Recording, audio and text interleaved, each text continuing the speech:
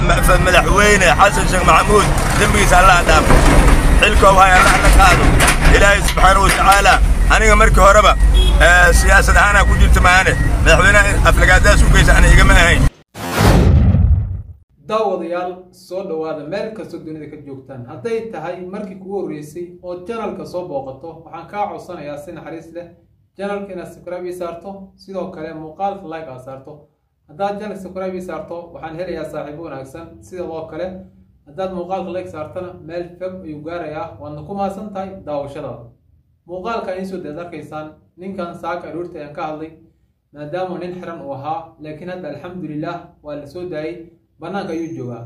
Ninkan marka saaka muuqaalkii waa soo geliy ninkii raw soo daawan karaa muuqaalo saaka codka aan idiin soo daayay uu ku hadlayey iyo hadda suu ku hadlayay waa laba kala duwan oo aan isku mid ahayn ninkan saaad arkaysaanba odayga ah daraad isagoo madaxweyne aflagaadeynayo ama wax ka sheegayo uu leeyahay madaxweynaha meel heblo kawaanka uu gatay ceelasha uu gatay meelkaas uu gatay uu dhergi waayey.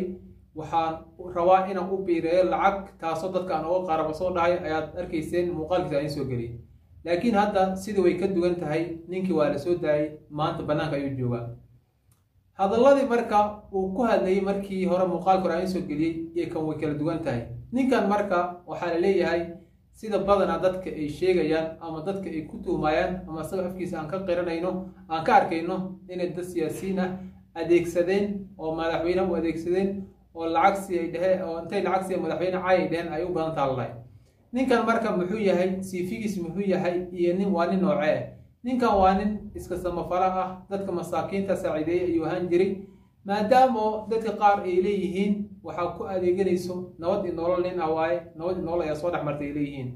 Maadaama aan arkaynay ama muuqaalka hore aan soo gelin ahaa isagoo farmaajo taageersan oo leh maxamed cabdullaahi farmaajo allah ha dhaafto allah ha dhaafsaan allah yeel isagoo dhahay oo boor wato isagoo feero qaawan oo macuus besa qabo baraha bulshadaan ku arki jira waagii dowladdii nabad i nolol nabad i nolol say u dhacday laakiin ninkan bidhaantiisa iyo meel alle meel aad la garan waayey. Darad ayuu soo muuqday isagoo madaxweynaha jaayfeynayo kadibna waa la xiray.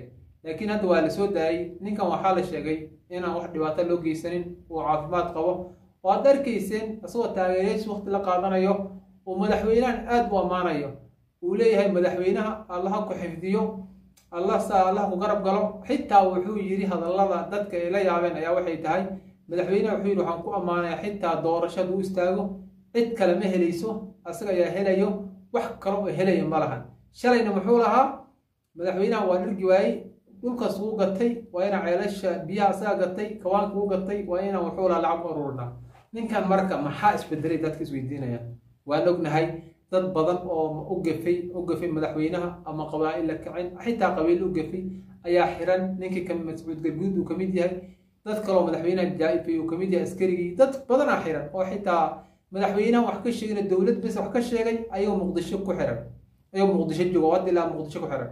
Ninkii mascuud garguud ahaa oo sheegtay ugaaska mundulood inuu yahay xaaladiis waan ognahay ninkaas intee u damaysay ninkaas waxaa lagu eedeeyey inuu kiiskii sayd cali bes ayuu ka hadlay wax kale kamu hadlay wuxuu yidhi kiiskii sayd cali dowladdu waxay oola dhaqantay si aan caadi ahayn way way dulmisay lacag ay ku cuntay maxkamadda intaas bes uu yidhi. Ninkaas ilaa hadda uu xiran yahay maxkamadda ma soo taagin? Waxa ilaahay unto laga qabmalan meel buu isaga jiraa.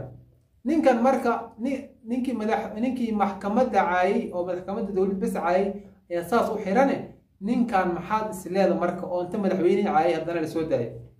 Ninkan horta waa nin iska masaakiin ayuu ahaa oo xaggana dadkii sama uu samafalku uu u ahaa oo usamafalaya masaakiinta ayaa saacdiisa u ducaysa u walow dadka qaar ay leeyihiin ninkan nabad i nolol ayuu ahaa maadaama madaxweyne uu ku xadgudbay xildhibaano waaweyn oo asna la qaraabo ah xagna nabad i nolol ah ayaa markiiba u gurmaday kadibna ka soo daayay inay ninkan inuu xorriyadiis helo oo si deg deg ah banaanka u joogo.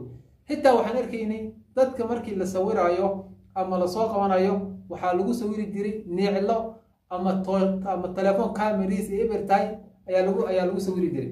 Ninkan waxaad arkaysaa sidii asaga banaanka uu ku joogay ama uu ahaa ayuu banaanka la soo fadhiistay. Waxba lagama bedelin sawirkiis lama madooweyn ma telefoonka looga qaado maa xumaa mase ninkan asaga burhaan kale oo dadka way yaaban yihiin hadda.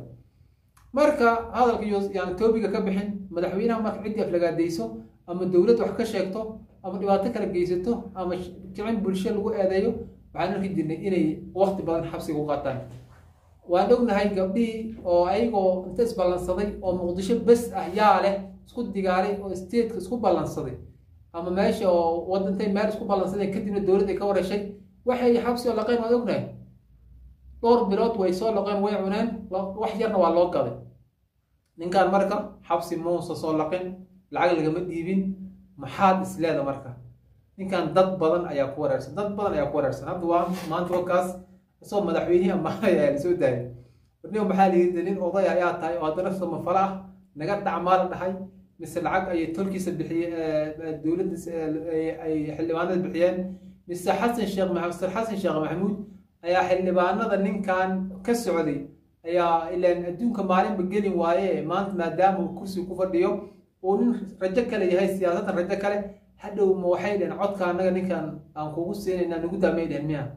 Meeshan su'aalo badan ayaa dadka maskaxdu ka guuxay maadaama aan ognahay dowladda soomaaliya wixii hadda mucaarad ku ah ay waddanka ku noolaan kara aan ognahay.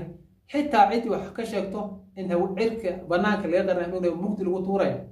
Ninka marka su'aalo badan ayaa isdul hoganaya bal daawad adna fikirkaada iyo wixii waxgar aqligaa ninkan aad ka qabto noo soo gudbi fikirkaada noo muhiim commentiga noogu soo qoro. Maadaama ninkan dowladda cidda ka dhexdhexaadisay waxa asaga xasan sheekh maxamuud dhex maray xitaa xasan sheekh maxamuud markii asaga uu ninkan la xiraya ama wuxuu ka sheegay muusan joogin wuxuu joogay gobolka rwanda ayuu joogay gobolka gaami ayuu la joogay wuxuu rwanda ayuu joogay. Xitaa meesha muusan joogin marka su'aalo badan ayaa dul hoganaya ninkan marka ninkii nabad nolol ku jiri jiray oo taageero masaana dibbo xabsi looga soo daynayaa ilaa nin dad lama noqona xildhibaano dad ku leh mise wax kale ayaa jiro. Marka su'aalo badan oo xitaa waxaa jiro dad badan oo ani ilamid ah maskaxdooda ay ka guuxayaan.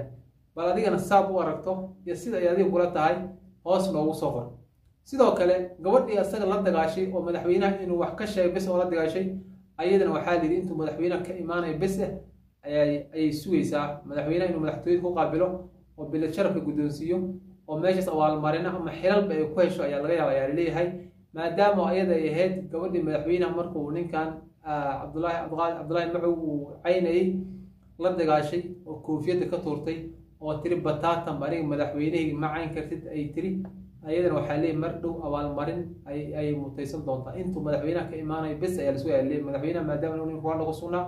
Haddadan aan la hadla inuu ku sugan yahay qaahira meeshaas uu shir ooga socdo asaga iyo wasiir wasiir fiqi oo iyo iyo taliyaha sirdoonka qaranka oo ka imaaday dalka turkiga meeshaas oo ku fashilmay heshiiskii etoobiya iyo soomaaliya looga hadlayay bataatan barajalaan lagu soo kala tegay marka waxaa leeyahy markuu madaxweynaha ka soo dhammaado masar uu ka soo dhamaado asaga iyo xildhibaanada la jiro iyo wasiir fiqi sida ugu degdegta badan gabadhan waxaa leeyahy madaxtooyada ee loogu yeerayaa waxaad arki doontaan ayadoo abaalmarin guddoonsiinay wixii ka soo kordho ama xog ah ama ka soo baxo meeshan ayaan kula wadaagi doonaa daawadayaal muuqaalka sii sheergareeya asxaabtiin la wadaaga waadna ku mahadsantihiin